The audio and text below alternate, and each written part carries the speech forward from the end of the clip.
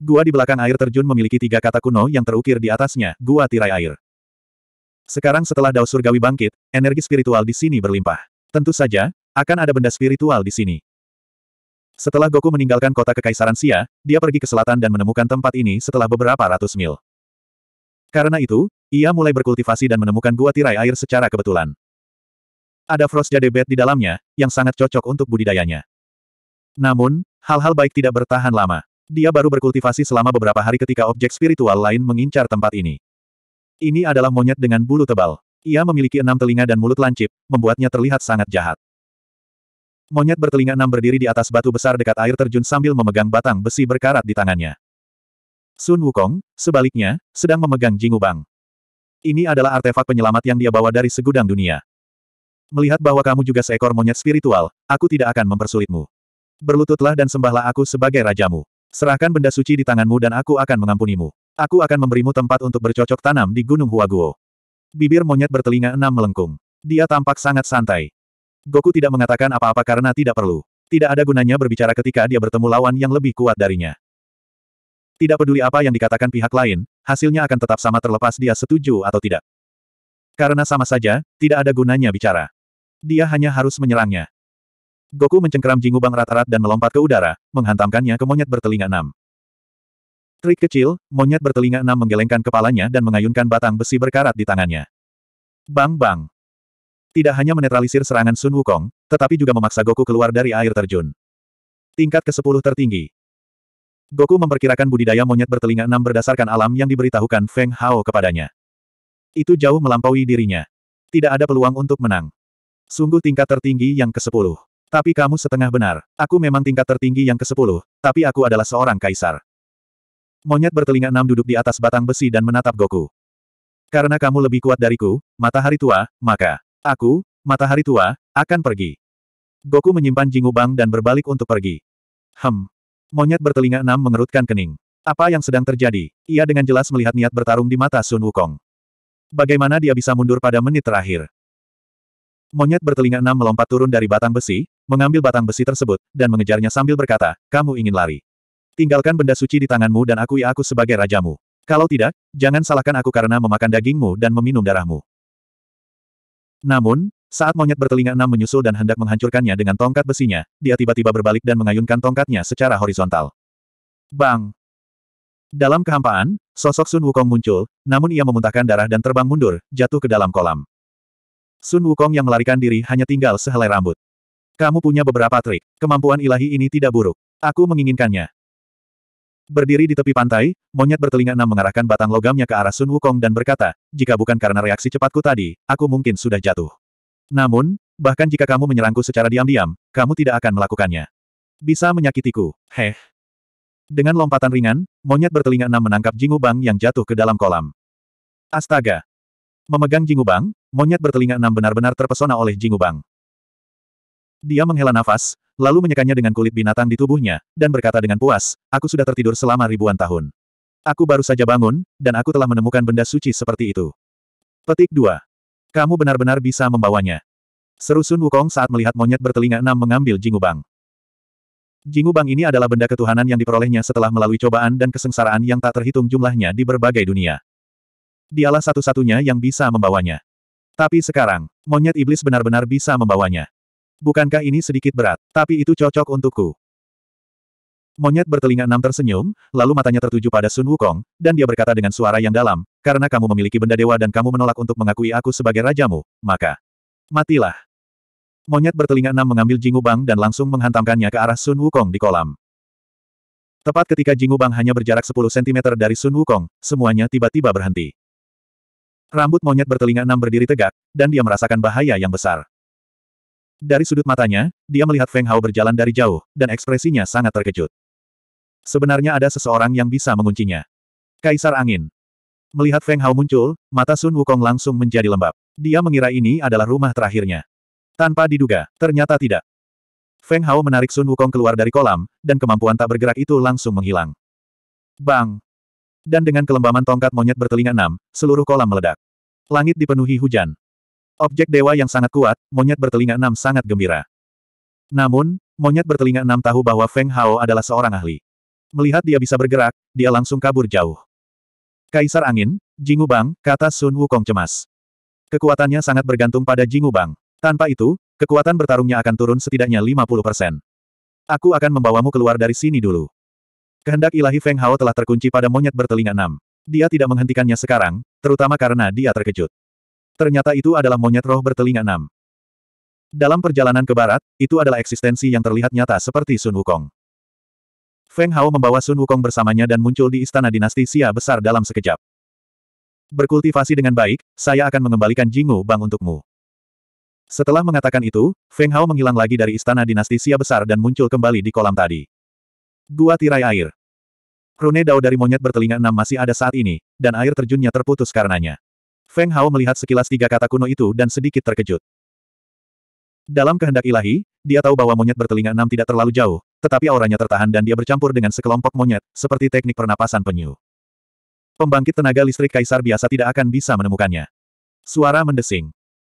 Sosok Feng Hao menghilang, dan ketika dia muncul kembali, dia berada di antara sekelompok monyet yang bermain-main. Ji, Ji gelombang. Kemunculan Feng Hao segera menyebabkan keributan di antara para monyet dan mereka melarikan diri ke segala arah. Monyet yang diubah menjadi monyet bertelinga enam juga berlarian. Namun, Feng Hao sudah memperhatikannya dan langsung berdiri di depannya. Ji, Ji.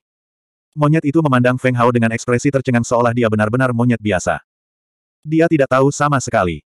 Penyamarannya sangat menakutkan. Tidak perlu menyamar, aku mengenalimu. Tidak peduli betapa lucunya monyet itu, di mata Feng Hao, tetap saja monyet iblis yang hampir membunuh Sun Wukong. 3652. Jiji. Monyet yang tampak biasa ini meronta dan menjerit saat lehernya dicengkeram oleh Feng Hao, mencakar dengan liar. Itu tampak seperti monyet biasa tidak peduli bagaimana orang melihatnya. Ia hendak dicekik oleh Feng Hao, tetapi monyet itu tidak bereaksi sama sekali. Bahkan tidak ada sedikit pun energi spiritual. Mungkinkah, aku salah menangkap monyet? Feng Hao tampak seperti sedang berpikir keras. Tentu saja, ini adalah ulahnya. Sebagai seseorang yang hanya selangkah lagi dari alam roh abadi, jika dia bahkan tidak bisa melihat melalui penyamaran binatang alam kaisar. Dia akan menjadi penguasa cabai besar tanpa imbalan apa pun. Jiji. Jiji. Pada saat ini, monyet-monyet yang melarikan diri berlari kembali dan menunjukkan taringnya ke arah Feng Hao sambil menjerit. Kamu akan dicekik olehku, jika kamu tidak melakukan apa-apa. Maka kamu hanya bisa mati. Feng Hao menatap monyet di tangannya dan berkata dengan suara rendah, apakah menurutmu? Monyet biasa akan menerima dukungan dari begitu banyak monyet. Setelah Feng Hao mengatakan ini, kekuatan tangannya tiba-tiba meningkat. Tetapi pada saat ini, monyet, yang awalnya berada di ambang kematian, tiba-tiba mengeluarkan ledakan energi terakhirnya. Penampilannya juga berubah, berubah menjadi monyet roh enam telinga. Ia mencoba melepaskan diri dari cengkeraman Feng Hao, tetapi tidak peduli seberapa keras ia mencoba, itu tidak berhasil. Bagaimana kamu mengetahuinya? Monyet roh enam telinga tidak bisa menyembunyikan keterkejutan di matanya. Dengan teknik penyamarannya, apa masalahnya? Ini sangat nyata. Monyet roh bertelinga enam tidak tahu bagaimana Feng Hao berhasil merebutnya dari kerumunan monyet. Feng Hao berkata, penyamaran apa pun adalah lelucon di hadapanku. Monyet roh bertelinga enam menghela nafas. Kemudian, tubuhnya berubah menjadi dahan pohon. Ia lolos dari telapak tangan Feng Hao dan kembali menjadi monyet roh enam telinga segera setelah mendarat di tanah. Dengan satu langkah, ia menempuh jarak ratusan mil. Apa gunanya melompat-lompat dengan gembira? Feng Hao menggelengkan kepalanya dan menghilang dari kolam gua tirai air. Ketika dia muncul kembali, dia kebetulan sedang menghadapi monyet roh bertelinga enam yang sedang berlari ke arahnya. Aku kasar. Monyet roh bertelinga enam tiba-tiba berhenti, terhuyung beberapa langkah, dan hampir jatuh ke tanah. Ia sangat ketakutan. Apa itu hantu yang menghantui? Ini dia. Tidak perlu lari. Keluarkan Jingubang, Feng Hao mengulurkan tangannya dan mengumpulkan kekuatan dunianya di tangannya. Kemudian, dia meraih monyet roh enam telinga yang melarikan diri di tangannya. Rasanya seperti mengambil seekor anak ayam. Feng Hao mengguncang tubuh monyet roh bertelinga enam. Dentang, Jingubang yang menyusut jatuh ke tanah. Itu milikku. Monyet roh bertelinga enam mengayunkan cakarnya, mencoba mengambil Jingubang dari tanah. Namun, Feng Hao menggendongnya, jadi tidak mungkin dia mendapatkannya. Betapa tidak tahu malunya, beraninya kamu mengatakan Jingubang itu milikmu. Tampar dirimu sendiri. Dengan baik. Dengan baik. Monyet roh bertelinga enam mengira Feng Hao akan menamparkan wajahnya. Siapa sangka, bahwa ia sebenarnya tidak mampu mengendalikan cakarnya dan menamparkan dirinya sendiri. Kedua tamparan ini langsung menghilangkan seluruh rambut di wajahnya. Apa yang saya lakukan? Monyet roh bertelinga enam memandang tangannya dengan bingung. Apa yang terjadi tadi? Rasanya kedua tangannya bukan miliknya. Feng Hao mengambil Jingubang dan melemparkan monyet roh bertelinga enam ke dalam angin semesta. Biarkan berjalan. Tempat apa ini? Feng Hao membawa Jingubang kembali ke istana dinasti Xia besar sambil memikirkan tentang bagaimana menghadapi monyet roh bertelinga enam di sepanjang jalan. Dia harus mengakui bahwa roh monyet sangat mirip dengan kera bertelinga enam dalam perjalanan ke barat. Mereka berdua pandai menyamar. Jika bukan karena dia telah menguasai kekuatan dunia, dia mungkin tidak akan bisa menemukan monyet roh bertelinga enam yang asli. Meskipun dia telah melemparkan monyet roh bertelinga enam ke dalam angin semesta, bukanlah ide yang baik untuk terus menulis. Adapun untuk membunuh monyet ini, Sejujurnya, surga memiliki keutamaan dalam menghargai kehidupan, begitu pula Feng Hao. Dia benar-benar tidak tega membunuh makhluk spiritual seperti itu. Sun Wukong dan monyet roh bertelinga enam sama-sama adalah monyet, tetapi monyet roh bertelinga enam tampaknya lebih ganas. Saat memikirkan Sun Wukong, Feng Hao langsung pergi ke tempat di mana Sun Wukong sedang memulihkan diri. Sun Wukong tampaknya tidak terluka parah, dan setelah satu jam, sebagian besar lukanya telah sembuh. Feng Hao tersenyum dan memandang Sun Wukong. Dari mana asal muasal monyet itu? Sun Wukong mengangkat bahu dan berkata, saya tidak yakin tentang spesifiknya. Dia menyebut dirinya leluhur iblis dan telah tertidur selama ribuan tahun. Dia baru keluar baru-baru ini setelah Dao Surgawi dihidupkan kembali. Feng Hao mengangguk dan membalik telapak tangannya. Jingu Bang tergeletak dengan tenang di telapak tangannya sebelum melemparkannya ke Sun Wukong. Sun Wukong menangkap Jingu Bang dan akhirnya merasa lega. Dia memandang Feng Hao dan berkata, terima kasih, Kaisar Angin. Ngomong-ngomong, bagaimana situasi monyet bertelinga enam sekarang? Sun Wukong masih sedikit kesal. Lagi pula, harga dirinya dikalahkan oleh seseorang dari ras yang sama. Bagaimanapun juga, dia adalah Raja Perang Suci, tapi siapa yang tahu? Dia akan kalah dari monyet. Sungguh membuat frustrasi. Feng Hao berkata, aku melemparkannya ke angin semesta untuk menemani Raja Dewa Kematian dan yang lainnya. Sun Wukong terdiam. Sun Wukong sepenuhnya diyakinkan oleh Feng Hao. Seolah-olah tidak ada yang membuatnya bingung sejak dia bertemu Feng Hao. Satu-satunya saat adalah di pohon iblis Dao Ekstrim. Kilin api mengorbankan dirinya untuk menekan pohon iblis Dao ekstrim. Terlebih lagi, setiap kali Feng Hao bertarung, itu semudah mematahkan rumput kering dan menghancurkan kayu busuk, sesuatu yang bahkan dia tidak perlu mengeluarkan tenaga apa pun. Kekuatan seperti ini. Sun Wukong mendambakannya, tapi dia tahu betul bahwa dia tidak akan pernah bisa mengejarnya seumur hidup ini. Bas. Tiba-tiba, gelombang pantun Daois datang dari istana. Feng Hao dan Sun Wukong terkejut. Apa yang sedang terjadi? Sun Wukong memandang Feng Hao. Dia tidak tahu. Feng Hao tersenyum dan berkata, Kaisar manusia Jiang Li dan Jiang Zi, telah menerobos ke alam Kaisar Langit ke-10. Apa? Sun Wukong hampir muntah darah. Bahkan dua saudara Kaisar manusia telah berhasil menerobos. Dia sengaja memilih tanah spiritual, tapi dia tidak berhasil. Sungguh menyebalkan membandingkan diri sendiri dengan orang lain. Namun, Sun Wukong merasa lega ketika memikirkan tentang manfaat dao surgawi dan energi spiritual dari tanah kuno. Dia tidak bisa disalahkan atas kurangnya bakatnya. Lingkunganlah yang mempengaruhi segalanya. Ayo kita lihat. Feng Hao kemudian menuju ke tempat munculnya Riak Dao. Meskipun Jiang Li dan Jiang Zi telah menerobos ke alam kaisar. Meskipun Jiang Li dan Jiang Zi telah menerobos ke alam kaisar, ini juga merupakan saat ketika fondasi mereka paling tidak stabil. Jika mereka membutuhkan bantuan nanti, Feng Hao juga bisa membantu. Sun Wukong ingin pergi, tetapi ketika dia berpikir tentang bagaimana berkultivasi seperti mendayung perahu melawan arus, dia segera masuk ke dalam kondisi meditasi. Dia bukanlah seseorang yang mau tertinggal dari orang lain. Tentu saja, monster seperti Feng Hao adalah pengecualian. Terlebih lagi, dia harus melindungi Gus Sukin di bumi. Tanpa budidaya yang dapat diandalkan, dia hanya bisa mengandalkan Feng Hao untuk menyelamatkannya. Ini bukanlah yang dia inginkan. Feng Hao datang ke pagoda tinggi di kedalaman istana. Ini adalah tempat di mana Kaisar Manusia Jiang Li dan Jiang Xi berkultivasi dalam pengasingan. Sekarang, ada sajak dawis misterius yang mengalir keluar dari pagoda. Daun bambu yang layu di hutan sekali lagi penuh vitalitas. Seolah semuanya telah dihidupkan kembali. 3653. Itu teknik budidaya yang cukup bagus. Feng Hao dengan santai memetik daun bambu, dan dia bisa melihat aliran vitalitas mengalir melaluinya. Aura Dao ini, cukup bagus. Dao Aura adalah fenomena yang dihasilkan oleh kekuatan Dao Surgawi, sama seperti temperamen seseorang. Semakin kaya dan berkuasa seseorang, semakin kuat temperamennya. Hal yang sama juga terjadi pada aura Dao. Semakin banyak kekuatan Dao surgawi yang dipahami seseorang, semakin mendalam aura Dao-nya, dan itu akan dapat mempengaruhi hal-hal di sekitarnya. Pada saat ini, pagoda sembilan lantai telah ditutupi oleh dua aura Dao yang saling terkait, membuatnya tampak seperti artefak Dao. Feng Hao hanya bisa mendecakkan lidahnya. Kedua saudara Jiang cukup berbakat dalam segala aspek. Tidak mengherankan jika barang antik tua itu akan menyerahkan Gritsia kepada mereka. Wow! Pada saat ini, tawa jahat Jiang Li datang dari pagoda. Oh, hehe. Lalu, tawa Jiangzi juga terdengar. Feng Hao terdiam. Feng Hao, yang berdiri di depan tangga batu di luar pagoda, mendengar tawa kedua saudara Jiang, dan dia merasa tidak enak. Dia hampir tidak bisa menahan diri untuk tidak berkata, susu kalsium. Sungguh memusingkan. Dia hanya memuji kedua bersaudara itu karena kehebatannya, tapi dalam sekejap. Citra mulianya runtuh. Namun, selama Feng Hao berada di bumi, dia merasa sangat dekat dengan orang-orang dengan kepribadian seperti itu. Mereka sangat manusiawi. Mereka tidak setua orang-orang di dunia kolosal. Setidaknya, mereka berpikiran terbuka dan bersemangat. Feng Hao melihat bahwa alam mereka stabil dan tidak ada kecelakaan, jadi dia menutupinya dengan pikirannya.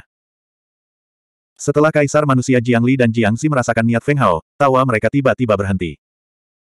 Namun, keduanya terbang keluar dari lantai atas pagoda dan mendarat di samping Feng Hao. Kaisar Angin. Keduanya menangkupkan tinju, tidak mampu menyembunyikan kegembiraan di mata mereka. Setelah pemulihan Dao Surgawi, mereka akhirnya merasakan hasil yang lesat. Dan semua ini disebabkan oleh Feng Hao. Meskipun mereka telah menghancurkan gunung leluhur mereka, mereka telah membina dua keturunan dari klub esports 10 tingkat, jadi menghancurkannya adalah sebuah keuntungan besar. Feng Hao mengukur keduanya dan melihat bahwa Jiang Li dan Jiang Xi telah menyempurnakan alam mereka. Seperti yang dia duga, alam tahap ke-10 dan alam yang mulia hampir sama. Belum lama ini, dan kamu sudah berhasil menerobos. Lumayan. Feng Hao tersenyum pada mereka berdua. Terobosan Jiang Xi berada dalam ekspektasi Feng Hao, namun terobosan Jiang Li melampaui ekspektasi Feng Hao. Itu sangat cepat. Beberapa hari yang lalu, dia terpaksa keluar dari pengasingan, tidak bisa melepaskan Grid Xia. Siapa yang menyangka bahwa dalam sekejap mata, dia akan melepaskan Grid Xia sepenuhnya.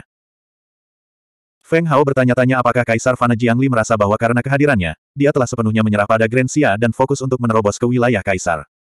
Mungkinkah orang ini tidak khawatir dia akan menduduki Grid Xia-nya? Bukankah dia terlalu ceroboh? Jiang Zi menyeringai dan terkekeh, bukankah itu semua berkat Kaisar Angin, di bawah penyadaran jalan surgawi, kita mendapat bagian dari jarahan. Mendengar kata-kata Jiangxi, Kaisar Fana Jiangli tidak bisa menahan diri untuk tidak berseru. Itu benar, di masa lalu, kami bahkan tidak berani memikirkannya. Saya tidak menyangka setelah menunggu bertahun-tahun, Win Kaisar akhirnya tiba. Bahkan kerajaan Kaisar pun ada di sini, bukankah menurutmu itu mengharukan? Jiang Li memeras dua tetes air mata dan dengan sengaja menggunakan jarinya untuk menyekanya, tanpa sadar membiarkan Feng Hao melihatnya. Feng Hao. Jiang Zi. Apa sih yang kamu lakukan? Siapa yang ingin melihat air matamu? Bisakah kamu menjadi palsu lagi? Jiang Zi tidak tahan lagi dan merasa tidak berdaya terhadap kakak kekaisarannya. Kaisar Fana Jiangli melihat wajah Feng Hao dan Jiang Zi agak hitam dan buru-buru mengganti topik pembicaraan. Dia memandang Feng Hao dan bertanya, Kaisar Angin, selama periode waktu ini, apakah sesuatu yang besar terjadi di Grid Xia? Setelah penyadaran jalan surgawi, situasi di berbagai tempat masih stabil. Kaisar Fana Jiangli mengajukan serangkaian pertanyaan dan wajah Feng Hao menjadi semakin gelap. Apakah dia Kaisar Xia yang agung? Sepertinya dia hanya berjanji pada Jiang Li untuk menjaga Gritsia dan tidak membiarkan daerah lain mengambil keuntungan dari situasi ini untuk menghancurkan Gritsia. Adapun situasi di berbagai tempat. Feng Hao tidak pergi ke ruang belajar kekaisaran dan tidak ingin peduli dengan hal-hal sepele ini. Lagi pula, dia bukanlah Kaisar Fana. Feng Hao terdiam sejenak. Melihat ekspresi penuh harap dari Kaisar Fana Jiang Li, dia berkata, saya mendengar bahwa ruang belajar kekaisaran memiliki banyak sekali tugu peringatan. Kaisar Fana Jiang Li. Jiang Zi. Jiang Zi tiba-tiba menatap saudara kekaisarannya, Jiang Li dengan penuh simpati dan menyemangatinya, saudara kekaisaran, tidak apa-apa. Anda sekarang adalah ahli alam kaisar, Anda tidak memiliki tekanan apa pun dalam menangani masalah ini. Bukankah itu hanya tumpukan peringatan? Tangani saja selama 3-5 bulan dan semuanya akan beres. Ah ah. Jiang Li tidak bisa menahan diri untuk tidak berteriak. Dia memandang Jiang Zi dan berkata, kamu bisa menjadi kaisar Fana. Saya berencana untuk berkeliling dunia dan mencari peluang untuk menerobos. Jiang Li menggeledah tubuhnya dan melanjutkan, segel pusaka tidak ada padaku. Ayo pergi, ikuti aku ke ruang belajar kekaisaran. Segel pusaka ada di sana. Aku akan memberikannya kepadamu nanti. Aku adalah raja kerajaan Sia besar. Saya bisa memberikan tahta kepada siapa pun yang saya inginkan. Jika Anda menolak, saya akan segera memenggal kepala Anda. Saat Jiang Li berbicara, dia tiba-tiba teringat identitasnya sebagai kaisar. Jika Jiang Zi menolak, dia akan menggunakan pisau untuk memaksanya. Ketika Jiang Zi mendengar bahwa Jiang Li ingin menyerahkan tahta kepadanya, wajahnya langsung menjadi pucat. Tubuhnya gemetar dan keringat dingin mengucur di punggungnya. Saudara Kaisar, kultivasi saya tidak stabil. Ayo mundur dulu. Jiang Zi menyeka keringat dingin di dahinya. Dia tidak ingin menjadi Kaisar Fana. Mengesampingkan fakta bahwa dia tidak memiliki kebebasan. Dia akan menghabiskan sebagian besar waktunya di ruang belajar kekaisaran. Bagaimana dia akan mengejar Dao Surgawi? Sekarang setelah Dao Surgawi pulih, itu adalah zaman keemasan kultivasi. Hanya orang bodoh yang akan menjadi Kaisar Fana. Kamu berani. Kaisar Fana Jiangli akan menjadi gila. Dia tidak menyangka Jiangxi menjadi begitu pengecut. Tetapi, ketika dia memikirkan apa yang dikatakan Feng Hao tentang ruang belajar kekaisaran yang dipenuhi dengan kertas kusut, dia merasa lemah dan tidak berdaya.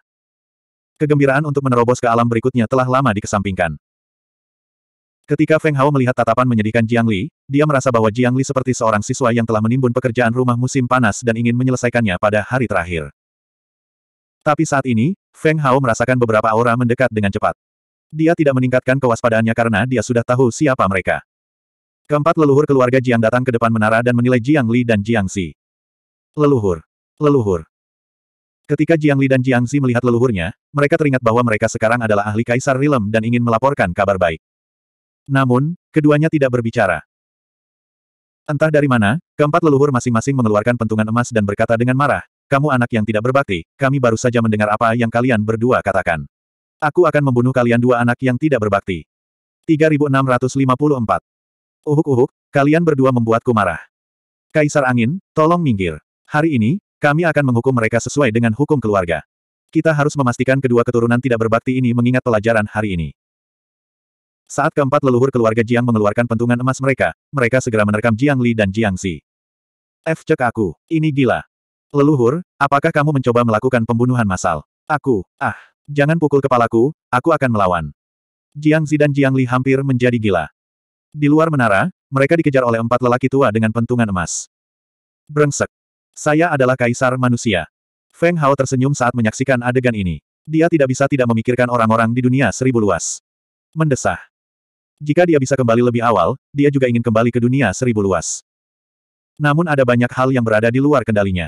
Seperti kata orang, semakin besar kekuasaan, semakin besar pula tanggung jawabnya. Feng Hao sudah lama berada di dunia ini. Setelah memahami sejarah dan berinteraksi dengan orang-orang ini, sangat sulit baginya untuk meninggalkan semuanya di sini. Jadi, meskipun dia punya cara untuk kembali ke dunia seribu luas sekarang, dia tidak akan langsung kembali. Dia ingin menunggu sampai semuanya beres sebelum mengucapkan selamat tinggal pada bumi. Leluhur, aku hanya bercanda dengan kakakku. Aku akan membaca peringatannya sekarang. Ah! Kaisar manusia Jiangli berputar empat hingga lima kali sebelum bersembunyi tanpa daya di belakang Feng Hao. Kali ini, leluhur keluarga Jiang akhirnya menyerah dan menghela nafas. Aku tahu kalian berdua tidak ingin menjadi kaisar manusia, tapi sebagai keluarga kerajaan Xia Agung, keluarga Jiang memiliki begitu banyak orang yang membutuhkan perlindungan kita. Kita perlu menjaga operasi normal negara ini. Ketika surga memberikan tanggung jawab yang begitu besar kepada kita, pertama-tama kita harus menyiksa keinginan kita dan bekerja keras pada otot dan tulang kita. Begitu leluhur tua keluarga Jiang membuka mulutnya, dia memberikan pidato yang panjang lebar, dan dia tampak sangat sedih dan penuh kebencian. Kulit kepala manusia Kaisar Jiang Li menjadi mati rasa. Saat pertama kali mendengar kata-kata ini, dia tertipu dan menjadi Kaisar manusia Sia Agung. Setelah itu, dia mendengarnya sesekali beberapa kali.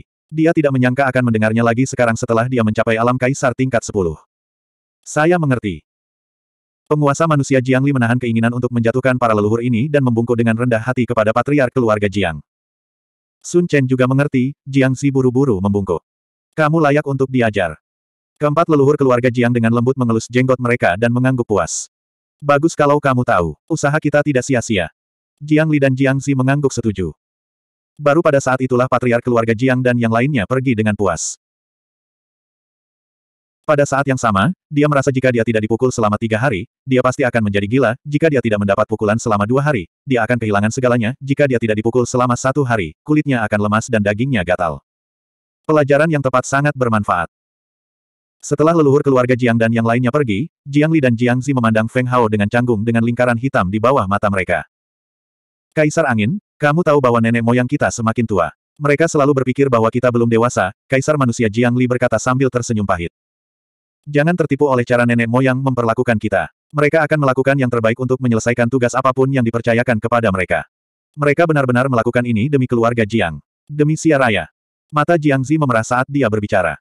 Menerobos ke alam kaisar adalah hal yang baik, tetapi ketika dia memikirkan tentang semua yang telah dilakukan leluhur lama untuk keluarga Jiang, dia merasa sangat tidak enak.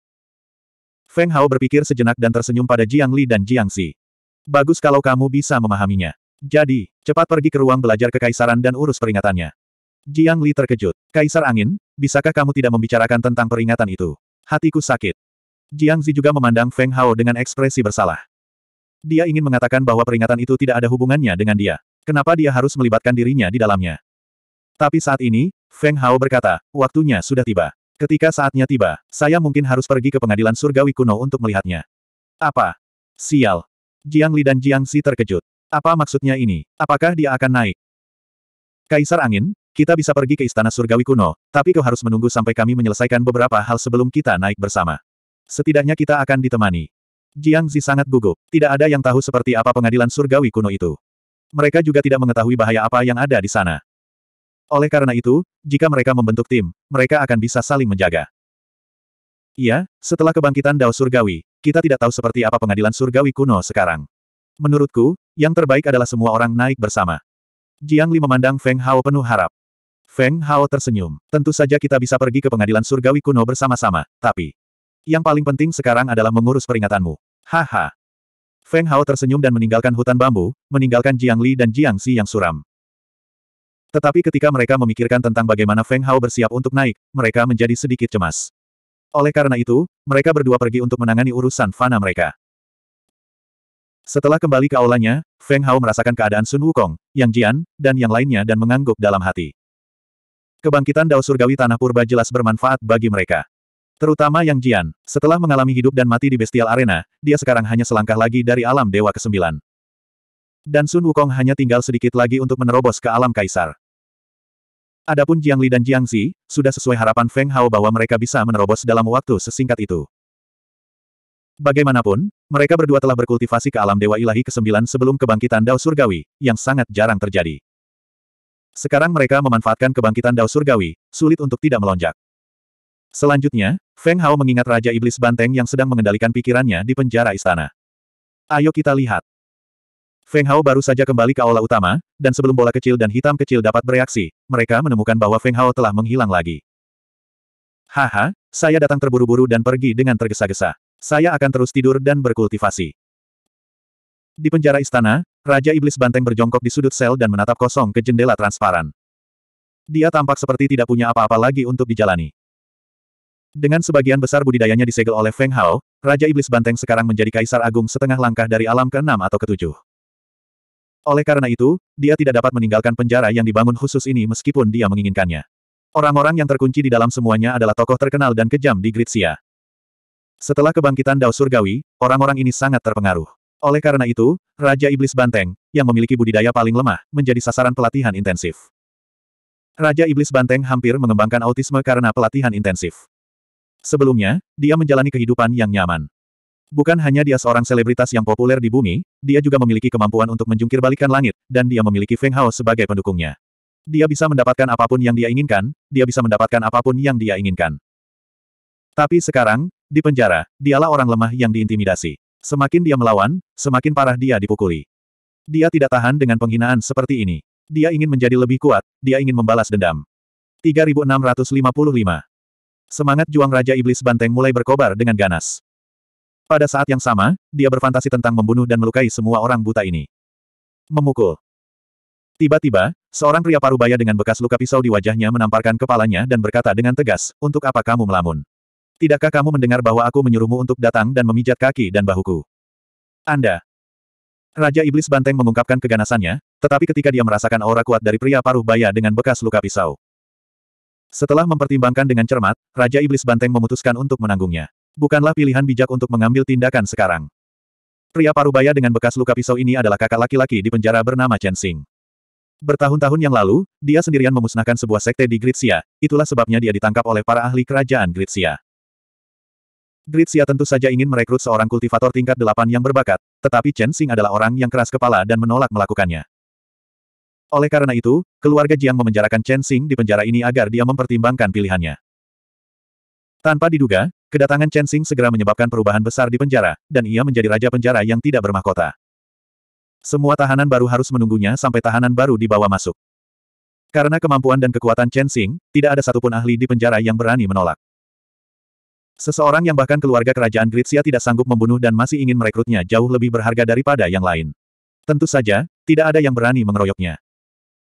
Ketika Raja Iblis Banteng pertama kali masuk, dia sangat sombong, tetapi tidak lama kemudian, dia dijinakkan seperti anak domba kecil. Chen Xing melihat kilatan mematikan di mata Raja Iblis Banteng. Kali ini, Chen Xing tidak senang. Dia melompat dari tempat tidur dan menendang Raja Iblis Banteng. Raja Iblis Banteng terlempar seperti karung pasir, menabrak dinding dan mengeluarkan seteguk darah. Jika aku sedikit lebih kuat, ini tidak akan terjadi. Jika saya tidak mencari kesenangan di dojo dan berkultivasi dengan damai, bagaimana saya bisa mengecewakan Feng Hao? Aku, Raja Iblis Banteng, datang dari berbagai dunia untuk mendapatkan kesempatan besar, tapi aku tersesat dalam godaan dunia fana. Aku, pantas mati. Tapi bagaimanapun juga, aku adalah Raja Iblis Banteng, penenang surga dari berbagai dunia. Ah! Raja Iblis Banteng dipenuhi amarah. Dia sudah cukup melayani Chen Xing selama periode waktu ini. Raja Iblis Banteng meraung, dan dalam sekejap, suara retakan keluar dari tubuhnya. Seolah-olah dia telah melepaskan diri dari sesuatu. Kamu mendekati kematian. Chen Xing memusnahkan sekte yang berjumlah lebih dari seribu orang tanpa mengedipkan mata. Melihat Raja Iblis Banteng mengaum padanya, dia merasa ini adalah sebuah provokasi. Basis budidaya Chen Xing di puncak alam tingkat ke-8 meletus. Tinjunya membawa kekuatan angin dan guntur saat menghantam kepala Raja Iblis Banteng. Cukup. K. Dengan mata memerah, Raja Iblis Banteng mengulurkan tangan kanannya dan mencubit kepalan tangan Chen Xing. Gemuruh. Dengan Raja Iblis Banteng sebagai pusat gempa, lantai penjara surgawi yang awalnya tidak bisa dihancurkan, di bawah tekanan formasi taktis, mulai retak. Pecahan peluru dari ledakan tersebut melukai parah beberapa tahanan. Anda. Chen Xing tertegun dan menatap Raja Iblis Banteng dengan bingung. Inikah orang yang berada di alam tahap ke-6 itu? Lelucon macam apa ini? Orang ini setidaknya berada di alam tahap ke-9. Sebenarnya, Raja Iblis Banteng sendiri tidak tahu bagaimana dia tiba-tiba bisa lepas dari segel Feng Hao. Terlebih lagi, basis budidayanya telah meningkat pesat entah dari mana. Ini sungguh tidak terbayangkan. Namun, Raja Iblis Banteng bereaksi dengan cepat. Kesempatan untuk membalas dendam telah tiba. Apa yang salah dengan saya? Hem. Raja Iblis Banteng meremas tinju Chen Xing dengan erat. Yang paling. Ah. Tulang jari Chen Xing patah satu demi satu. Setelah itu, dia melolong sedih saat butiran keringat mulai mengalir. Ini. Ini. Tahanan lain di penjara surgawi yang mengikuti perintah Chen Xing sangat ketakutan hingga mereka kencing di celana ketika mereka melihat tulang jari Chen Xing dihancurkan oleh gorengan kecil yang mereka injak sebelumnya. Sebagian besar celana mereka basah. Apa yang sedang terjadi? Dia jelas-jelas sampah, bagaimana dia tiba-tiba menjadi begitu kuat? Dasar anjing, beraninya kamu menumpangkan tanganmu padaku. Karena aku tidak membunuhmu, aku, Chen Xing, bukan laki-laki. Ah! Chen Xing menyegel meridian di tangan kanannya dan mengaktifkan kekuatan dao besar. Tangan kirinya menyerang dengan kecepatan kilat. Raja Iblis Banteng tidak bergerak sedikit pun, seolah dia tidak bisa bereaksi tepat waktu. Namun, saat bibir Chen Xing melengkung menjadi senyuman sinis, bola mata Raja Iblis Banteng tiba-tiba bergerak saat dia menatap ke arah Chen Xing. Saat itu juga, Chen Xing merasakan hawa dingin merambat di punggungnya, seolah-olah dia adalah mangsa yang menjadi sasaran. Anda, kamu melebih-lebihkan dirimu sendiri. Raja Iblis Banteng berkata dengan acuh tak acuh. Dia membalikkan tubuhnya sedikit ke samping dan melepaskan serangkaian pukulan setan banteng. Bam, bam, bam. Dalam sekejap, 27 pukulan mendarat di perut Chen Xing. Puff, puff. Wah. Pada saat itu, perut Chen Xing tertusuk dan organ dalamnya hancur. Saat dia terbang, darah muncrat dari luka di mulutnya. Uh, aku, grupnya. Darah menyumbat tenggorokan Chen Xing dan dia tidak bisa bernapas. Raja Iblis Banteng baru saja mengambil dua langkah ke depan ketika Chen Xing membeku karena terkejut. Para pengikut Chen Xing terkejut dan ketakutan ketika mereka melihat Raja Iblis Banteng tiba-tiba menyerang dan menghajar Chen Xing hingga mati hanya dalam beberapa ronde. Lebih dari sepuluh dari mereka berkerumun di sudut penjara kekaisaran, kencing, dan buang air besar di celana. Raja Iblis Banteng menghentikan langkahnya. Menatap tangannya yang berlumuran darah, dia tercengang. Kultivasi saya akan pulih sepenuhnya. Raja Iblis Banteng merasakan energi spiritual yang melimpah di tubuhnya dan tercengang. Dia berpikir bahwa dia telah melepaskan diri dari segel Feng Hao. Dia tidak menyangka bahwa segelnya tidak hanya rusak, tetapi budidayanya juga meningkat dengan selisih yang sangat besar. Peningkatan budidaya yang tiba-tiba ini tampaknya disebabkan oleh segel Feng Hao. Ini. Saat ini, seorang pria berjubah putih tiba-tiba muncul di penjara. Raja Iblis Banteng sangat waspada. Saat dia berbalik menghadap musuh, dia menyadari bahwa itu adalah Feng Hao. Saat Raja Iblis Banteng memikirkan Feng Hao, Feng Hao segera muncul. Raja Iblis Banteng berlutut dengan satu kaki dan menangkupkan tinjunya. Terima kasih, Kaisar Angin. Feng Hao mengangguk. Bangunlah. Kupikir kamu akan menyalahkanku. Aku tidak menyangka kamu akan berterima kasih padaku. Saya tidak berani. Saya masih harus berterima kasih kepada Kaisar Angin karena telah mencerahkan saya. Jika Anda tidak melemparkan saya ke penjara kekaisaran dan membiarkan saya mengenali diri saya sendiri, saya khawatir. Saya akan menjadi cacat selama sisa hidup saya. Kehidupan. Raja Iblis Banteng bersyukur dari lubuk hatinya. Sejak Feng Hao mengubah segelnya menjadi budidaya. Dia tahu bahwa Feng Hao adalah ujian baginya. Selama dia bisa melepaskan diri dari segelnya, maka budidaya yang seharusnya menjadi milik Feng Hao akan diserap olehnya. Ini adalah niat baik Feng Hao. Feng Hao mengangkat tangan kanannya dengan lembut. Raja Iblis Banteng merasa seperti dia akan berdiri, tapi dia tidak bisa menahan kekuatan ini ketika dia berlutut. Kamu dan aku adalah teman baik. Tidak perlu formalitas seperti itu. Bekerjalah keras dalam kultivasimu. Kamu harus mengharumkan nama Heaven Pacifier. 3656 Di penjara kekaisaran, kematian Chen Xing juga dilaporkan kepada Jiang Zi oleh sipir penjara. Ini karena kaisar manusia berada di ambang kehancuran dalam studi kekaisaran. Jika dia diganggu lebih jauh, dia mungkin akan membunuh seseorang dengan mata merah. Oleh karena itu, Jiang Zi menyimpan semua orang dan tugu peringatan di luar. Chen Xing meninggal di penjara kekaisaran. Tidak perlu melaporkan hal seperti itu. Jiang Zi sakit kepala. Segala sesuatu yang terjadi di kota kekaisaran Gritsia sekarang harus dilaporkan ke istana kekaisaran. Bagaimana dia bisa beristirahat? Apa pekerjaan orang-orang di bawah ini? Setelah kebangkitan aksioma surgawi, mereka hanya peduli pada wilayah mereka sendiri dan melakukan semuanya dengan setengah hati. Dasar bajingan. Tetapi, kematian Chen Xing ada hubungannya dengan tamu terhormat yang mulia yang mengirimnya ke penjara kekaisaran. Kata sipir penjara. Jiang Zi terkejut. Saudara Banteng. Jiang Zi sulit mempercayainya. Chen Xing adalah seorang ahli di puncak alam ke-8. Sebelum kebangkitan aksioma surgawi, orang seperti itu juga merupakan tokoh berpengaruh di dunia. Keluarga Jiang tidak mengeksekusinya karena mereka menghargai bakatnya. Namun mereka tidak menyangka dia akan mati di tangan Raja Iblis Banteng. Jiang Zi ingat dengan jelas bahwa budidaya Raja Iblis Banteng hanya berada di alam ke-8. Ketika dia dijebloskan ke penjara kekaisaran oleh Feng Hao untuk pelatihan, sebagian dari budidayanya disegel. Bagaimana dia membunuh Chen Xing? Bahkan jika Raja Iblis Banteng telah membuka segel Feng Hao, dia masih berada di alam ke-8. Bagaimana dia bisa membunuh Chen Xing? Penjaga penjara berlutut dengan satu kaki dan menangkupkan tinjunya. Itu dia. Dia disiksa oleh Chen Xing di penjara kekaisaran. Hari ini juga budidayanya tiba-tiba meroket dan dia membunuh Chen Xing. Setelah itu, Yang Mulia membawanya keluar dari penjara kekaisaran sebagai tamu terhormat. Jiang Zi melambaikan tangannya. Baiklah, kamu boleh pergi sekarang. Ingatlah untuk menjaga penjara kekaisaran. Iya. Sekarang aksioma surgawi telah bangkit kembali, penjahat khusus yang dikurung di penjara kekaisaran juga merupakan masalah yang merepotkan. Jiang Zi tidak peduli dengan kematian Chen Xing. Dia hanya penasaran bahwa Raja Iblis Banteng bisa membunuh Iblis Chen Xing. Jiang Zi ingin pergi ke sisi Feng Hao untuk melihatnya.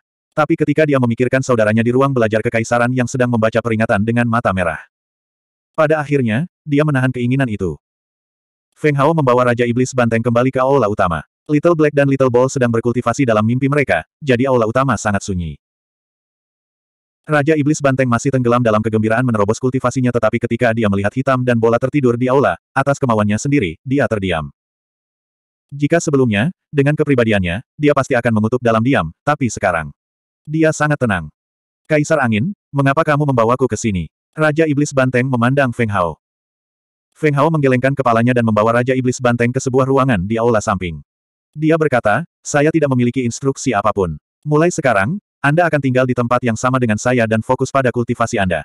Saya telah memasang arai pengumpulan roh di aula ini. Banteng Feng Raja, Sing. Raja Feng, Hao, Kaisar Chen Kaisar-Kaisar dari, hingga. Feng Hao. Sambil menggelengkan kepalanya, Feng Hao memandang Raja Iblis Banteng sambil tersenyum dan berkata, kamu pasti sudah terlalu banyak menonton acara televisi dan novel. Apa yang kamu maksud dengan fondasi segala usia? Kamu harus fokus pada kultivasimu dan mencapai supremasi tingkat ke-10 sesegera mungkin sehingga kita bisa naik ke pengadilan surgawi kuno bersama-sama. Raja Iblis Banteng menggaruk kepalanya dengan canggung dan langsung menyetujuinya. Sekarang kondisi mentalnya telah marah dan dia juga telah memulihkan basis kultivasinya, mampu berkultivasi di alam abadi tertinggi di mana dao surgawi telah terbangun bukanlah hal yang sulit. Sebagai sage agung yang menenangkan surga, Raja Iblis Banteng masih memiliki kepercayaan diri seperti ini. Setelah menenangkan Raja Iblis Banteng, Feng Hao berbalik dan meninggalkan aula samping. Setelah kembali ke kamarnya, dia mulai bermeditasi. Pada saat yang sama, secerca perasaan ilahi memasuki alam semesta angin. Jumlah orang di Win Universe juga meningkat. Dewa Iblis Ciyu, Marsekal Iblis Liren Chou, Raja Dewa Abadi, Monyet Roh Enam Telinga. Semuanya adalah sosok yang mengesankan. Namun, terlepas dari kehidupan Riang Ciyu dan Liren Chou di alam semesta angin, pertemuan antara Raja Dewa Kematian dan Monyet Roh Bertelinga Enam agak menyedihkan. Keduanya datang terlambat, jadi pemahaman mereka tentang alam semesta angin secara alami tidak sebaik Chi Yu dan Li Renchou, jadi mereka hanya bisa dikalahkan. Meskipun mereka sangat marah, tidak ada cara untuk mengubah kenyataan. Ini adalah dunia yang benar-benar baru. Segala sesuatu yang telah mereka pelajari dalam hidup mereka semuanya hilang. Semuanya harus dimulai dari awal. Apakah kamu tahu cara menyulap? Saat aku di bumi, aku melihat banyak monyet yang bermain juggling secara diam-diam. Kamu, berikan dua pada Dewa Iblis ini. Ciyu sedang dalam suasana hati yang baik, tetapi melihat monyet roh enam telinga tidak tergerak, dia ingin mengamuk. Kamu monyet, jangan terlalu berterima kasih. Saat Ciyu berdiri, pusaran air tiba-tiba muncul di antara langit dan bumi. Hati Ciyu dan Li Renchou menegang. Mereka buru-buru berdiri dan membungkuk. Salam, Kaisar Angin. Ketika Raja Dewa Kematian melihat Feng Hao muncul, ekspresinya ketakutan. Dia buru-buru meniru Ciyu dan Li Renchou dan membungkuk. Salam, Kaisar Angin. Kaisar Angin. Monyet roh enam telinga dengan hati-hati merenungkan kalimat ini. Di alam abadi tertinggi, hanya Kaisar King, yang memiliki setengah kaki di pengadilan surgawi kuno, yang dapat disebut Kaisar. Inilah bakat sebenarnya dari seorang ahli. Mengenai Kaisar Angin, dia belum pernah mendengarnya. Namun, menuju tempat aneh ini, monyet roh enam telinga sangat terkejut. Ini karena tempat ini bukan lagi bagian dari dunia kuno tertinggi. Orang yang bisa menciptakan tempat seperti itu pastinya bukan orang biasa. Selain itu, Monyet roh enam telinga juga telah melihat budidaya Feng Hao, yang berada di atas alam kaisar tahap ke-10. Dengan kata lain, dia satu level lebih kuat dari Kaisar King. Bolehkah aku bertanya, di mana tempat ini? Mengapa kamu mengikatku di sini? Bisakah kamu mengeluarkanku? Aku bisa meminta maaf pada temanmu. Monyet roh bertelinga enam tidak punya pilihan selain menurunkan pendiriannya dan meminta bantuan. Alasan utamanya adalah dunia ini terlalu aneh. Sekalipun dia memiliki kemampuan luar biasa, tidak ada gunanya di sini. Kata Feng Hao, kamu bisa menyebut tempat ini sebagai alam semesta angin. Adapun kenapa aku mengikatmu, itu karena aku tidak ingin menimbulkan masalah. Selain itu, lupakan permintaan maaf. Mulai hari ini dan seterusnya, kamu bisa merasa nyaman dan menjadi monyet di sini. Anda, monyet roh enam telinga tidak bisa berkata-kata. Apa yang kamu inginkan? Diam, dasar monyet bau. Jika kamu berani berbicara kepada kaisar angin seperti ini lagi, aku akan merobek mulutmu. Dewa Iblis Ciyu bukanlah orang yang baik hati. Sebagai orang nomor satu di masa depan di alam semesta angin, dia secara alami harus melindungi martabat Feng Hao. Anjing jenis apa yang berani menggonggong di Win Universe? Huff. Monyet roh enam telinga memelototi Dewa Iblis Ciyu tetapi tidak berbicara lagi. Dia tahu metode Ciyu dengan sangat baik. Saat monyet roh enam telinga dilempar ke dalam, Ciyu dan Sorrow of Separation menyambutnya dengan tinju mereka tanpa sepatah kata pun. Benar-benar tidak masuk akal. Rukunlah. Juga, jika kamu memiliki pencerahan di alam semesta angin, katakan saja dengan lantang. Setelah mengatakan ini, Feng Hao menarik kembali kehendak ilahinya. Kali ini, dia masuk untuk bermeditasi dan tiba-tiba teringat akan hal itu. Apalagi dia tahu semua yang terjadi di Win Universe. 3657 Kemunculan aura ini secara tiba-tiba membuat Jiang Li dan Jiang Si khawatir, termasuk empat tetua keluarga Jiang. Dan Feng Hao juga terbangun dari meditasinya karena kemunculan aura ini secara tiba-tiba. Dalam kesadaran ilahi, dia merasakan bahwa Jiang Li dan Jiang Si telah bergegas ke gerbang istana kekaisaran. Para tetua keluarga Jiang keluar dari pengasingan hampir pada waktu yang bersamaan. Lagi pula, melepaskan aura seperti itu secara langsung di luar istana dinasti Xia besar agak provokatif. Di aula utama tempat Feng Hao berada, Little Black dan Little Ball membuka mata mereka. Jelas sekali, pemandangan yang mengesankan tadi telah membuat mereka berdua khawatir. Aura tadi sangat mengejutkan. Sekali dilihat dan kamu bisa tahu bahwa dia bukan orang biasa. Jika dia ada di bumi, dia akan menjadi ahli top. Hitam kecil sedikit terkejut. Tapi tidak peduli seberapa kuat orang ini, bagi Feng Hao dan mereka, dia tidak berbeda dengan badut. Bola kecil menguap dan berkata, karena kita sudah bangun dan tidak ada urusan, ayo kita lihat. Bola kecil dan hitam kecil memandang Feng Hao dan mengedipkan mata. Feng Hao terkekeh, kalau begitu, ayo kita lihat bersama. Feng Hao meninggalkan aula utama bersama Little Black dan Little Ball. Feng Hao memperkirakan budidaya kasar pemilik aura itu sekarang. Dia pasti berada di alam kaisar tahap ke-10. Adapun apakah dia berada di tahap lanjutan atau menengah. Dia tidak begitu yakin. Dan pada saat ini, di menara di dinding istana dinasti Sia besar, seorang pria berjubah hitam dengan pedang berat di punggungnya berdiri dengan tenang dengan tangan di belakang punggung. Desir. Desir. Setelah beberapa saat, Kaisar Manusia, Jiang Li, dan Yang Mulia, Jiang Xi, juga tiba di tembok kota. Pandangan mereka tertuju pada sosok di menara. Keduanya mengerutkan kening. Mereka merasa punggung orang ini agak familiar. Namun menurut kesan mereka, sepertinya tidak ada ahli berpakaian seperti ini di dinasti Sia besar. Terlebih lagi, berdasarkan aura yang dilepaskan sebelumnya, dia jelas merupakan ahli alam kaisar tahap ke-10. Jiang Li sepertinya memikirkan sesuatu dan seberkas cahaya melintas di matanya saat dia berkata dengan suara rendah, Saudaraku, apakah menurutmu orang ini mirip dengan dewa pedang legendaris Lisia dari wilayah utara? Saudaraku, apakah kamu berbicara tentang orang gila dari wilayah utara itu? Untuk apa? Dia datang ke negara bagian pusat kita. Jantung Jiangzi berdetak kencang. Sekte terkuat di wilayah utara adalah domain pedang. Mereka adalah sekelompok orang gila yang berspesialisasi dalam pedang dao. Di antara mereka, Dewa Pedang, Lisia, tidak ada duanya. Dia adalah satu-satunya orang kejam di domain pedang negara bagian utara yang telah berkultivasi hingga mencapai alam Dewa Pedang. Dia juga merupakan pendekar pedang nomor satu yang menggunakan pedang berat. Alam Dewa Pedang setara dengan alam Kaisar setengah langkah, antara tahap ke-9 dan ke-10. Sama seperti Raja Dewa Mayat Hidup. Namun, Jiang Li dan Jiang Zi masih sedikit bingung. Orang di depan mereka dengan pedang berat jelas telah melampaui alam Dewa Pedang dan mencapai alam Kaisar tingkat 10. Ini adalah alam Kaisar Pedang dari Pedang Dao. Tidak perlu menebak, aku Lisia. Lisia melihat Kaisar manusia dan penguasa kerajaan Sia tidak dapat memahaminya bahkan setelah waktu yang lama, jadi dia mengambil inisiatif untuk berbicara. Kaisar manusia Jiang Li dan Jiang Zi tercengang, tetapi mereka masih menangkupkan tinju dan berkata, Jadi, Senior Lisia, saya sudah mendengar banyak tentang Anda. Aku sudah banyak mendengar tentangmu. Jangan bicara omong kosong. Kalian berdua sudah menembus tahap ke-10, kan? Ketika Lisia mengatakan ini, pedang berat di belakangnya bergetar, seolah-olah mau tidak mau terhunus. Aku khawatir orang ini orang gila. Jiang Zi tidak bisa menahan diri untuk tidak mengutuk dalam hatinya. Ini jelas menunjukkan postur menghunus pedangnya. Iya, secara kebetulan, Dao Surgawi telah bangkit kembali, dan Kaisar ini cukup beruntung untuk berkultivasi ke alam Kaisar tahap ke-10. Kaisar manusia Jiang Li mengangguk, matanya tertuju pada pedang berat di belakang Lisia, seluruh tubuhnya dalam keadaan tegang. Dewa pedang Lisia bukanlah lelucon. Nama orang ini bisa mengguncang zaman dahulu, yang berarti dia seperti Kaisar King, seorang tokoh berpengaruh. Dia juga satu-satunya orang di zaman kuno yang bisa memaksa Kaisar King mengerahkan seluruh kekuatannya dan hanya tertinggal beberapa langkah. Tidak ada seorang pun di zaman kuno yang tidak takut padanya. Dan biasanya yang ditantang olehnya hanya mempunyai dua akibat, yang satu mati, yang lainnya cacat setengah mati. Ini juga alasan mengapa Jiang Li dan Jiang Xi merasa ada yang tidak beres ketika mereka menebak identitas Lisia. Lisia sudah setara dengan Kaisar King beberapa tahun yang lalu, dan sekarang, dia jelas lebih kuat. Di sisi lain, Jiang Li dan Jiang Xi baru saja menerobos ke alam Kaisar. Bagaimana mereka bisa menjadi tandingan Lisia? Di seluruh era primordial, hanya Dao Surgawi di prefektur tengah yang telah bangkit. Aku benar-benar iri. Bagaimana kalau begini? Kalian berdua menyerangku. Jika kalian bisa membuatku mundur selangkah dalam waktu 15 menit, aku akan mempertimbangkannya. Itu kekalahanku. Jika aku menang, Istana Kekaisaran Grensia akan menjadi dojo domain pedangku. Bagaimana kalau? Lisia memandang Kaisar manusia Jiang Li dan Jiang Xi sambil tersenyum sambil memutar-mutar janggutnya dengan tangan kirinya. Dia menyukai perasaan menindas yang lemah, membiarkan para ahli sombong itu menjadi jiwa orang mati di bawah pedangnya. Menggunakan kidarah para ahli untuk memberi makan pedangnya. Ini adalah tujuannya.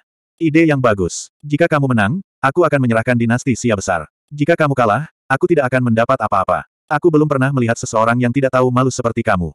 Jiang Li berkata dengan dingin. Li Xia telah lama berlatih ilmu pedang, namun dia sebenarnya mengusulkan tantangan yang menggelikan. Hah? Li Xia mengerutkan kening dan berkata, kamu berani mempermalukanku. Aku akan membiarkanmu merasakan 12 pedang penusuk kekosongan. Dentang. Saat pedang berat itu terhunus, ruangnya tampak terdistorsi. Lisia meraih gagangnya dan mengambil langkah ke depan, mengayunkan pedangnya ke atas. Gemuruh. Tiba-tiba, seberkas pedang Qi melesat ke arah kaisar manusia Jiang Li, menyebabkan batu bata hijau di sepanjang jalan meledak dan udara meledak. Sangat kuat, pedangnya tidak hanya kuat, tapi dia juga kuat. Ekspresi kaisar manusia Jiang Li berubah drastis, tetapi pada saat ini, empat leluhur keluarga Jiang juga bergegas keluar dari kegelapan. Mereka berempat langsung menamparkan punggung kaisar manusia Jiang Li dengan tanda dao mereka. Bang! Bang! Sinar pedang Qi langsung bertabrakan dengan tinju kaisar manusia Jiang Li dan meledak, menyebabkan menara kota runtuh. Off! Off! Sementara itu, Jiang Li dan empat kepala keluarga Jiang segera muntah darah dan terbang keluar, wajah mereka pucat. Sungguh niat pedang yang kuat. Pedang Qi adalah kombinasi dari niat pedang dan kekuatan Dao Surgawi, ditambah dengan rune Dao yang tak terkalahkan. Tak tertandingi. Patriark klan Jiang dipenuhi dengan keheranan. Kata-katanya menyebabkan ekspresi Jiang Li dan para leluhur lainnya menjadi gelap. Haha, ini baru langkah pertamaku, dan kalian semua sudah terjatuh. Tidak, tidak, terlalu lemah. Mari kita lihat apakah kalian bisa menahannya lagi. Lisia sangat tidak senang. Dia bahkan belum bergerak, tapi lawannya sudah muntah darah. Ini sama sekali tidak ada artinya. Jiang Zi membantu para leluhur berdiri dan berdiri di samping Kaisar Manusia Jiang Li, berkata, Saudaraku, biarkan aku yang melakukannya. Cepatlah pulih dari lukamu. Hanya kamu. Baiklah, kamu juga bisa merasakan kekuatan 12 pedang penusuk kekosongan milikku. Lisia datang ke Gritsia kali ini karena dia ingin melihat kebangkitan Dao Surgawi Dataran Tengah. 3658. Kamu tidak bisa. Kaisar manusia Jiang Li mencoba menghentikan Jiang Xi. Bahkan jika dia tidak bisa mengatasinya, Jiang Xi kemungkinan besar akan dipukuli sampai babak belur. Mata Jiang Li berbinar dan dia menatap Jiang Zi, saudaraku, pergi dan undang Kaisar Angin. Baiklah. Mata Jiang Li berbinar. Semuanya terjadi begitu tiba-tiba hingga dia hampir lupa bahwa ada seorang ahli super di istana. Tapi saat Jiang Li hendak pergi, Li Xia mencibir, Aku, Li Xia, tidak memberimu izin untuk pergi. Beraninya kamu pergi sendiri. Kamu sedang mencari kematian. Mata Li Xia menjadi suram. Dia terbiasa memegang kendali. Orang yang tidak patuh seperti Jiang Zi adalah tipe orang yang paling dia benci. Pedang ilahi besi mistik menebas Jiangxi. Garis pedang ki secepat kilat. Dalam sekejap mata, itu mencapai punggung Jiangxi. Sial. Jiangxi merasakan niat tajam di belakangnya. Dia tahu bahwa jika pedang ki menyentuhnya, tubuhnya akan terbelah menjadi dua. Meskipun dia adalah kaisar tingkat 10, Lisia juga seorang kaisar tingkat 10. Faktanya, dia bahkan lebih kuat darinya. Saudara laki-laki. Jiangxi. Penguasa manusia Jiang Li dan leluhur keluarga Jiang sangat marah saat melihat ini. Jiang Zi baru saja menerobos ke alam kaisar tingkat 10 dan Xia Raya telah mendapatkan dorongan lagi.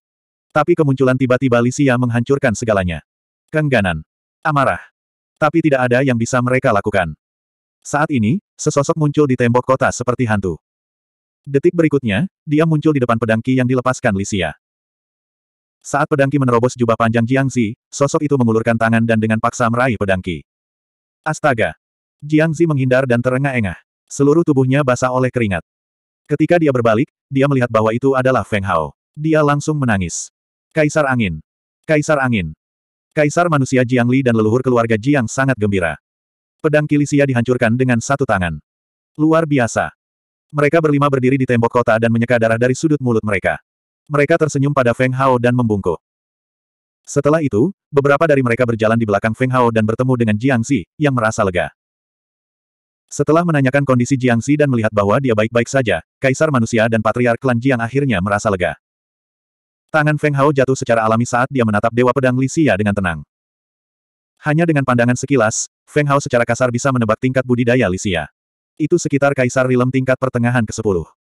Kualitas pedang ilahi besi hitam cukup bagus. Itu harus dianggap sebagai artefak Dao yang andal. Kalau tidak, dia tidak akan mampu melukai Kaisar Manusia Jiang Li dan empat leluhur keluarga Jiang hanya dengan pedangnya Qi. Namun, di depan Feng Hao, Lisia jelas tidak cukup kuat. Siapa kamu? Lisia tidak terburu-buru untuk bergerak. Dia menilai Feng Hao, merasa sangat terkejut. Dia tidak bisa melihat tingkat kultivasi pihak lain. Dalam keadaan seperti itu, hanya ada dua kemungkinan. Salah satunya adalah pihak lain adalah orang biasa tanpa tingkat kultivasi. Yang lainnya adalah, tingkat kultivasi pihak lain jauh lebih tinggi daripada miliknya. Menilai dari bagaimana pihak lain memblokir ki pedangnya, jelas bahwa pihak lain adalah yang kedua. Tapi masalahnya adalah tingkat kultivasi pihak lain begitu tinggi sehingga dia tidak bisa melihatnya. Seberapa tinggi pihak lain daripada dia? Siapa aku tidak penting. Yang penting adalah, kamu punya dua pilihan sekarang. Tangan yang melukai kaisar manusia dan keempat leluhur akan lumpuh. Pada saat yang sama, tinggalkan pedang di tanganmu dan kembali ke tempat semula. Kamu berasal dari. Pilihan lainnya adalah, kematian. Feng Hao tidak suka membunuh. Faktanya, dia tidak berpikir bahwa membunuh adalah solusinya. Tapi masalahnya adalah Lisia sudah bertindak terlalu jauh. Dia bertekad untuk membunuh Jiangxi. Bahkan Kaisar Manusia Jiang Li dan leluhur keluarga Jiang akan mati jika dia tidak melakukan apa pun. Feng Hao tidak merasa kasihan pada orang seperti itu. Tidak peduli bagaimana dia melihatnya. Yang ada hanya kematian. Tentu saja, jika Li Xia masih memiliki hati nurani, Feng Hao tidak akan keberatan memberinya kehidupan baru jika dia memotong salah satu tangannya dan meninggalkan artefak Dao. Namun, kata-kata Feng Hao benar-benar membuat marah Li Xia yang angkuh. Haha. Lisia tidak pernah menyangka akan ada seseorang yang berani berbicara dengannya seperti itu di benua ini.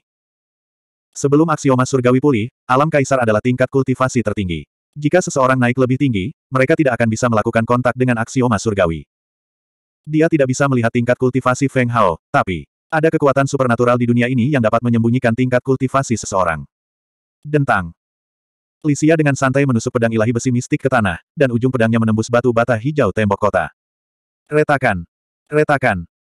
Seketika, retakan seperti jaring laba-laba muncul di seluruh tembok kota. Itu adalah pemandangan yang mengerikan. Lisia mengangkat pedang ilahi besi mistik dan mengarahkannya ke leher Feng Hao. Aku belum pernah melihat seseorang yang sombong sepertimu. Itu hanya serangan kedua dari dua belas pedang penghancur angkatan daratku. Sekarang, kamu masih memiliki kesempatan untuk bersujud dan memohon belas kasihan. Jika tidak, hari ini tahun depan akan menjadi hari peringatan kematianmu. Begitu dia selesai berbicara, jubah hitam Lisia berkibar. Saat pedang ilahi besi mistik ditarik keluar, suara auman naga terdengar. Menara di tembok kota langsung runtuh, dan tembok kota juga pecah dan runtuh di sekitar Lisia. Hanya tempat dia berdiri yang tersisa, berdiri seperti pilar batu. Astaga! Pada saat yang sama, Lisia melihat bahwa Feng Hao begitu sombong sehingga dia bahkan tidak mengambil sikap bertahan. Dia menjadi marah karena malu dan menikam Feng Hao. Tebasan naga penghancur tentara. Pedang ilahi besi mistik merobek ruang dengan kekuatan besar dan tiba di depan Feng Hao dalam sekejap mata. Melihat ujung pedangnya hendak mengenai kepala Feng Hao, bibir Lisia melengkung. Dia bahkan tidak bisa menahan satu pukulan pun. Tetapi pada saat itu, Lisia melihat Feng Hao tiba-tiba menatapnya, dan dia langsung merasa seolah-olah dia telah jatuh ke dalam gudang es. Tatapannya menusuk tulang, dan seolah-olah dia sedang menatapnya dari jurang yang dalam. Ini. Lisia tanpa sadar menelan ludahnya, tapi dia tidak punya waktu untuk berbicara. Pada suatu saat, pedang berat besi mistik di tangannya ada di tangan Feng Hao. Dan ujung pedangnya sudah menempel di tenggorokannya. Apa yang sedang terjadi? Li Xia tercengang. Dia tidak tahu apa yang baru saja terjadi. Dia jelas ingin menikam Feng Hao sampai mati, tetapi dalam sekejap mata, pedang ilahi besi mistik telah berakhir di tangan Feng Hao. Bahkan, ujung pedangnya hampir menembus kulitnya. Santai. Rasa dingin yang menusuk tulang menyebabkan bulu kuduk merinding di sekujur tubuhnya. Apakah ini pilihan yang kamu buat? Feng Hao memegang pedang ilahi besi mistik dan memandang Li Xia dengan sedikit penyesalan. Terlalu lemah. Dia hanya menggunakan sebagian kekuatan dunia untuk mengubah posisi mereka, tetapi Li Xia tidak bereaksi sama sekali. 3659. Saya. Lisia tidak bisa berkata-kata karena pertanyaan Lin Yu. Jelas sekali, dia baru saja memilih untuk menyerang, dan dia tahu tanpa ragu bahwa dia akan mati. Namun, dia tidak ingin mati sekarang, dan keinginannya untuk hidup mencegahnya untuk menjadi keras kepala. Dia menelan ludahnya dan berkata, aku baru saja mengujimu. Aku tidak benar-benar ingin menyerangmu. Jiang Li. Jiang Zi. Empat kepala keluarga Jiang. Mereka tidak dapat mempercayai telinga mereka. Dewa pedang primordial yang bermartabat, Lisia, sebenarnya mengalami suatu hari ketika dia menjadi seorang pengecut. Lisia tidak mungkin Lisia palsu yang bisa menggunakan 12 pedang penakluk militer, bukan. Oleh karena itu, sosok pendukung Lisia tiba-tiba runtuh di hati anggota keluarga Jiang.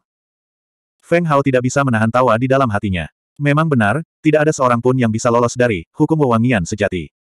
Karena itu masalahnya, tentukan pilihanmu. Feng Hao ingin melihat betapa pantang menyerahnya Lisia. Jika dia adalah tipe orang yang lebih memilih mati daripada menyerah, dia mungkin akan mengaguminya dan mengampuni nyawanya. Namun, jika dia salah, dia akan sangat kecewa.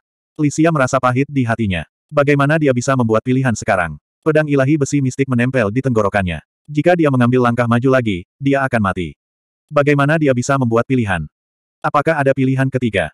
Lisia sangat menyesal. Jika dia tahu ini akan terjadi, dia pasti akan bertanya-tanya. Kalau tidak, dia tidak akan jatuh di sini hari ini. Dua pilihan yang diberikan oleh Feng Hao terlalu melodramatis. Salah satunya adalah memotong lengannya dan menyerahkan pedang ilahi besi mistik. Apa perbedaan antara ini dan membunuhnya? Dia mengandalkan pedang ilahi besi mistik dan 12 pedang penakluk militer untuk berkeliling dunia. Jika dia kehilangan lengannya, bagaimana dia bisa membawa pedang dengan tangan kirinya? Apa bedanya dengan berkultivasi sejak awal? Dia mungkin saja mati. Pilihan kedua lebih mudah. Dia bisa memilih kematian. Namun, dia tidak menginginkan keduanya. Pilihan ketiga. Feng Hao memandang Li Xia dengan heran. Dia sedikit penasaran dengan pilihan ketiga. Li Xia sedikit lega saat melihat Feng Hao tidak segera membunuhnya. Dia berkata dengan serius, misalnya, menjadi pengikutmu. Feng Hao tercengang. Apakah kesadaran Li Xia setinggi itu? Dia tidak berpikir bahwa Dewa Pedang Li Xia, yang memiliki aura tahu yang tak terkalahkan, akan merendahkan dirinya untuk mengabdi di bawah orang lain. Orang dengan pemikiran seperti itu biasanya tidak dapat berkultivasi hingga tingkat ini. Feng Hao menggelengkan kepalanya dan berkata, jangan buang waktu, kaisar ini akan membuatkan pilihan untukmu. Tangan Feng Hao yang memegang pedang ilahi baja hitam bergetar ringan, dan garis berdarah muncul di leher Lisia. Gemuruh. Kamu benar-benar akan membunuhku. Lisia mencengkeram lehernya saat darah muncrat dari hidung dan mulutnya. Matanya dipenuhi rasa tidak percaya. Dia adalah dewa pedang alam tingkat ke-10, mungkinkah itu? Dia sama sekali tidak berharga baginya. Apakah kamu bercanda? Selain itu, Lisia bahkan tidak tahu apa nama ini sampai dia meninggal. Memikirkan bahwa dia, dewa pedang suatu generasi, baru saja menyaksikan kebangkitan Dao Surgawi di Gritsia dan bahkan belum memiliki kesempatan untuk bersinar. Dia sudah mati. Berdebar. Tubuh Lisia jatuh ke reruntuhan tembok kota. Matanya terbuka lebar, dan dia meninggal dengan sedih. Jiang Zi mendukung kaisar manusia Jiang Li dan keempat leluhur tua keluarga Jiang. Menundukkan kepala untuk melihat mayat Lisia di reruntuhan, mereka berenam merasakan kaki mereka menjadi lunak. Berdebar. Jiang Li, Jiang Zi dan yang lainnya berlutut ke arah Feng Hao dan berkata, terima kasih Kaisar Feng karena telah menyelamatkan hidup kami. Hati kecil mereka masih bergetar. Betapa hebatnya Feng Hao. Dewa pedang Lisia yang tak terkalahkan di dunia baru kalah dari Kaisar King setelah ia menjadi terkenal. Namun mereka tidak menyangka hal itu. Dia telah kehilangan nyawanya di tangan Feng Hao bahkan tanpa mengambil setengah gerakan. Feng Hao terkekeh, bangunlah, masalah ini.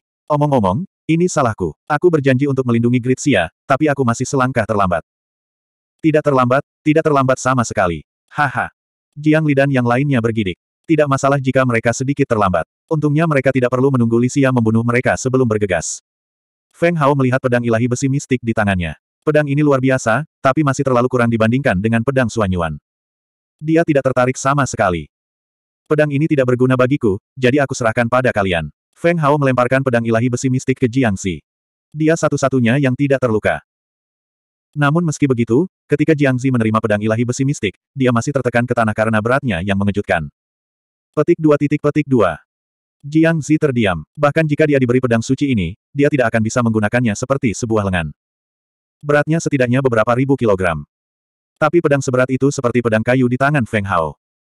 Dari sini, terlihat bahwa jarak antara dia dan Feng Hao sangat besar. Feng Hao pergi setelah menyerahkan pedang ilahi besi mistik kepada Jiangxi. Adapun Dewa Pedang Li Xia. Apa itu tadi? Dia layak untuk dikhawatirkan. Titik. Saat Feng Hao meninggalkan tembok kota, hitam kecil dan bola kecil muncul di samping mayat Li Xia. Sungguh disayangkan. Sajak Daois seorang kaisar itu bagus. Aku akan menyerapnya terlebih dahulu. Ingatlah untuk meninggalkan beberapa untukku. Little Ball dan Little Black mengikuti Feng Hao ke sini, tetapi mereka tidak menunjukkan diri. Baru setelah Li Xia meninggal barulah mereka berdua muncul. Sajak Daois Lisia sangat membantu mereka memulihkan kultivasi mereka. Bagaimanapun, sajak Daois terbentuk dari esensi kultivasi. Itu adalah suplemen yang bagus. Feng Hao secara alami menyadari bisnis gelap antara Little Black dan Little Ball. Dia tidak berpikir ada yang salah dengan hal itu. Little Black dan Little Ball harus memulihkan budidaya mereka lebih cepat. Kalau tidak, itu akan membuang-buang identitas mereka. Menyerap sajak Daois bukanlah hal yang buruk. Bahkan jika hitam kecil dan bola kecil tidak menyerapnya, cepat atau lambat mereka akan menghilang. Daripada disia-siakan, lebih baik manfaatkan dengan baik. Sayangnya, Lisia tidak cukup kuat. Di aula, Feng Hao tidak bisa menahan menggelengkan kepalanya. Dewa pedang tak terkalahkan apa. Dia hanya bercanda. Pada saat yang sama, di wilayah pedang yang jauh di benua utara, di paviliun pedang kuno, tiga batu giok berbentuk pedang yang bersinar digantung di atas cermin di paviliun pedang. Namun, pada saat itu, cahaya kemasan keluar dari cermin dan menyinari salah satu batu giok berbentuk pedang. Dengan keras, batu giok berbentuk pedang itu meledak dan seberkas cahaya melesat ke langit. Setelah itu, di sisi danau surgawi yang tertutup es di dalam wilayah pedang, seorang lelaki tua dengan kepala penuh rambut putih dan matanya tertutup rapat tiba-tiba membuka matanya, dan dia sangat terkejut, Lisia. Sudah benar-benar binasa. Saat berikutnya, lelaki tua itu muncul di paviliun pedang alam pedang. Pada saat itu, perubahan pada batu giok paviliun pedang membuat khawatir eselon atas dunia pedang. 3660 di domain pedang utara, tiga batu giok berbentuk pedang di paviliun pedang mewakili tiga dewa pedang terkuat. Dewa pedang tak terkalahkan Li Xia, pedang langit Zhao Dongyun, dan dewa pedang satu tangan Zheng Chuqiu. Ketiganya adalah perwakilan dari wilayah tak terkalahkan di wilayah pedang utara.